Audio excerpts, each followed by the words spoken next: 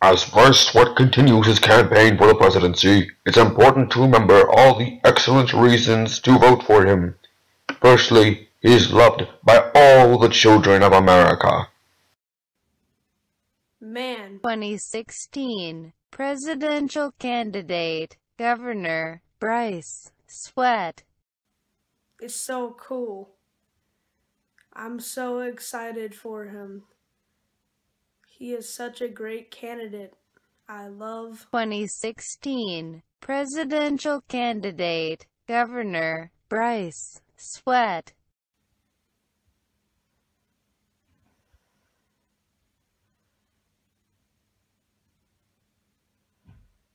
Twenty sixteen presidential candidate, Governor Bryce Sweat. is my favorite color. Secondly, he knows all the hip lingo of the newest generation. Yo, what's up, homie P? Guess what? I went to that presidential candidate thing last night. Oh man, it was so lit. So lit. So fly. I mean, I got so much swagger on.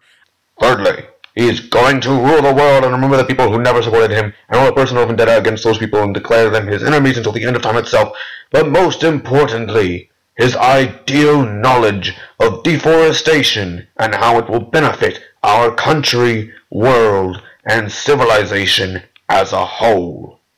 That's right, folks. You've heard before that deforestation could lead to some serious disasters, but you're wrong. The website of National Geographic claims that several wildlife animals cannot survive without their habitat of a forest, but Bryce says that this is heresy. Greenpeace.org states that forests are instrumental in a water cycle, but Bryce exclaims that this is blasphemy. LiveScience.com declares that deforestation has a negative impact around the world when the absence of trees lessens the quality of the local water and can be harmful to the populations around it. But Bryce fights back, calling this myth baloney! Despite the fact that these facts have been proven by experienced people who probably went to college and got a degree in this field of work, Bryce has a really cool hat, so he's probably right about everything.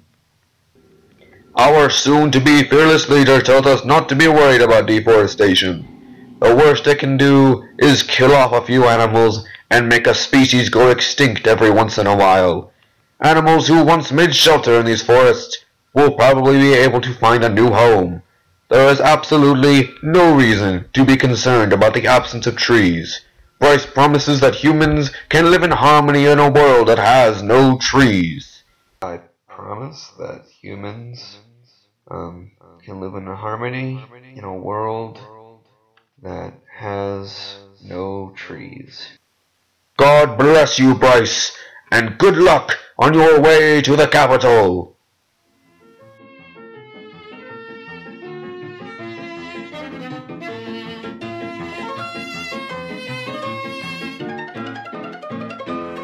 Twenty sixteen presidential candidate, Governor Bryce Sweat.